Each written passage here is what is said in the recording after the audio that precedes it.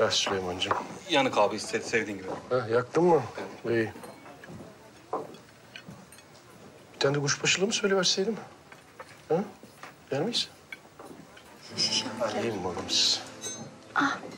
Hoş geldiniz. Ne haber? Benim ufaklık. İyi sen? Çok sevindim.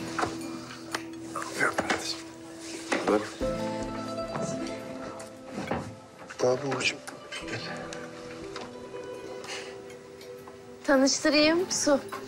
Ateş'in kardeşi. Memnun oldum. Ben de. Nasılsın kızım? Kelebek. Hüsnü. Gördünüz mü beni? Gördüm tabii. Görmez olur muyum hiç? Hadi gelin.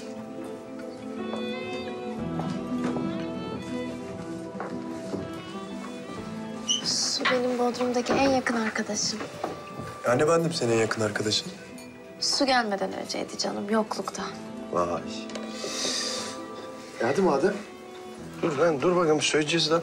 Süleyman servis açıver buraya.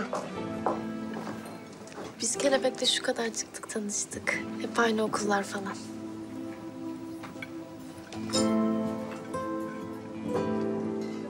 Al sen bunu. Al yes tamam. Kızın pidesini bırak.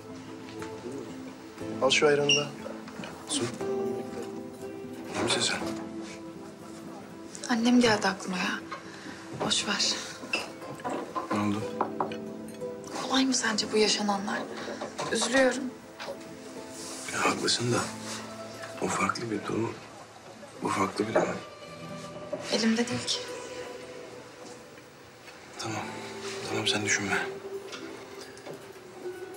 Kötü mü peki? Yani.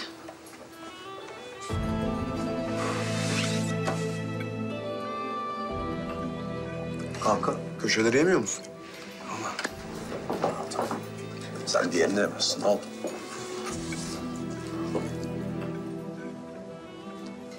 Sen bir şey yemedin.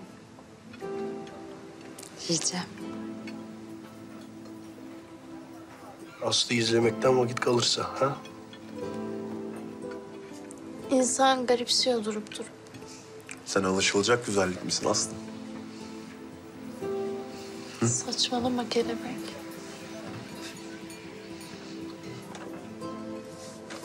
Sen bugün annemin nesi biliyor musun?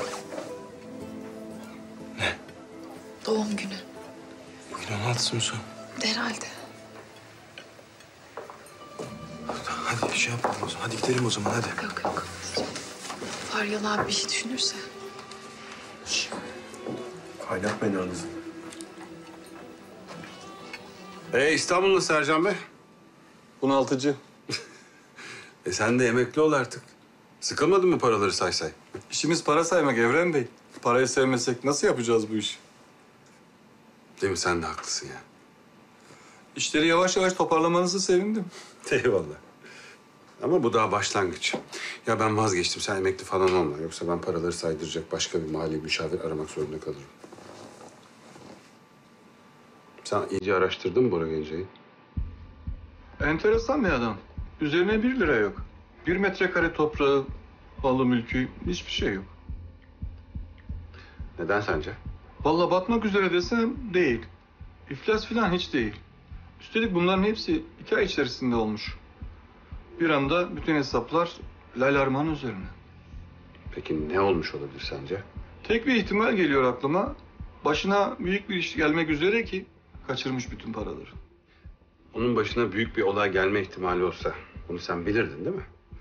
Araştırdım. Türkiye'de herhangi bir davası, kaçağı göçeği yok. Temiz. O zaman Amerika'da onu kaçırtan bir şey var. Kuvvetli ihtimal. Üstelik bu öyle bir şey ki buraya gelme sebebi öyle aile sevgisi, yeğen sevgisi falan değil. Acaba Amerika'dan onu buraya getiren şey ne? O kadarını bilemeyeceğim. Bileceksin Ercan Bey, bileceksin. Bileceksin ki Bora Gencay'ın servetinin yüzde birine sahip olasın. İki milyon dolar. Şaka yapmıyorsunuz. Sen beni daha önce şaka yaparken gördün mü? İyi de bütün serveti Lale Arman'ın üzerine. Siz nasıl konuşacaksınız para? Bora Lal'in güvenilir bir insan olmadığını anlayacak. Sonra gelip Nasıl yani? tüm servetini tabii ki en yakını olan kişinin üzerine yaparak kardeşinin